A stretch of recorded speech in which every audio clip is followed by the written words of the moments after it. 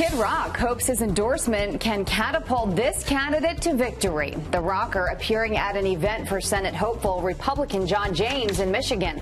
The veteran is looking to replace Democrat Debbie Stabenow in November. Kid Rock is confident James can win.